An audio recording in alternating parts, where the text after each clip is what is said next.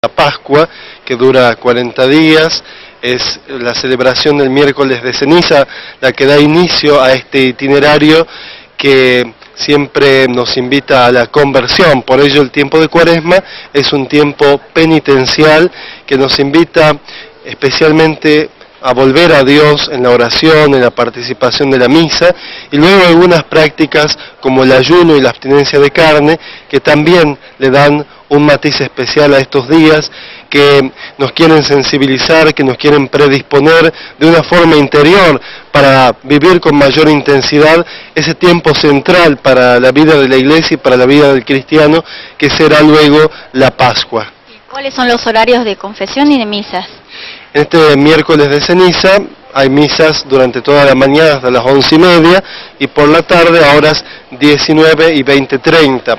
Se inaugura este tiempo con la imposición de la ceniza, que es uno de los signos de la caducidad, de la limitación humana, pero que se abre también a la esperanza. La ceniza es el signo de la purificación y este es un tiempo de volver a Dios, es un tiempo en donde renace la esperanza.